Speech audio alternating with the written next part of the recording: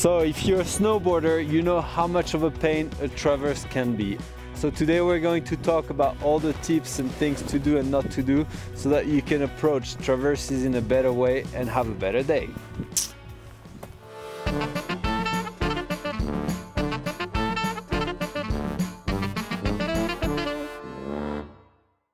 So why are traverses such a pain? Obviously because we have only one edge, but also because we have a side cut on our edge.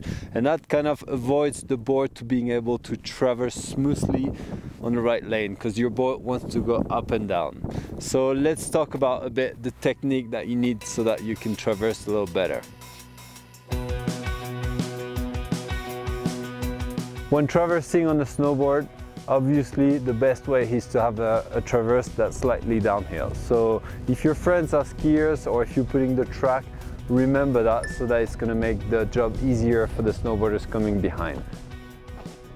If the traverse is slightly uphill and the snow kind of breaks under your feet when you're going to be going one foot, then you might just want to strap off, hike above the, the line a little bit, a few meters, just so that you can have a downward angle on your own traverse later.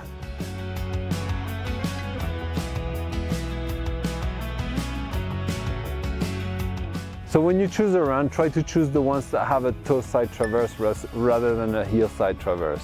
So that will already simplify a lot the problem.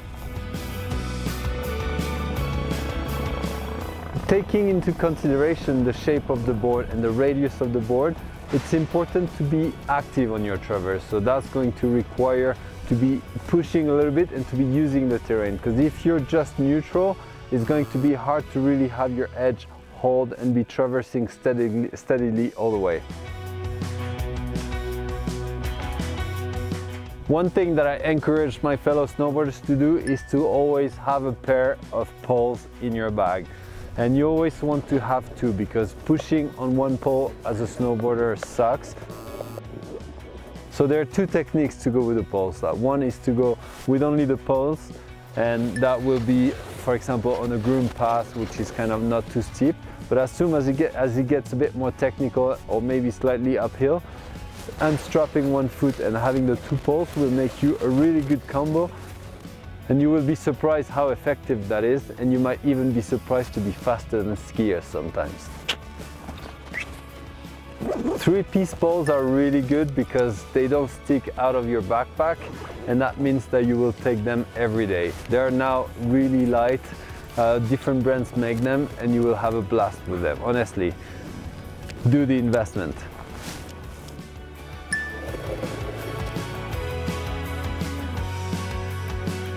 One thing that will seem obvious but that we all don't necessarily do is to have a really well waxed board with really clean edges.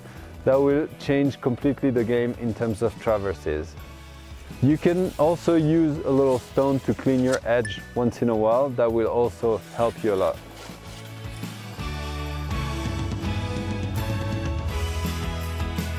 So if you want to go a little bit more technical, you will realize that by playing with the torsion of your board, you're also going to be able to glide better and have a bit more steady of a track when you're traversing and that's going to make it easier. So usually that means that you're going to be putting a bit more pressure with the, with the back foot so that you're going to twist your board so that your board goes straight. Alright, so you know everything about traversing on a snowboard now, so remember the choice of terrain, try to be smart whenever you go somewhere, think as a snowboarder and not as a skier. All these little things will help you to traverse better and not to have these horrible moments so that you can have a great experience and keep on riding with a smile.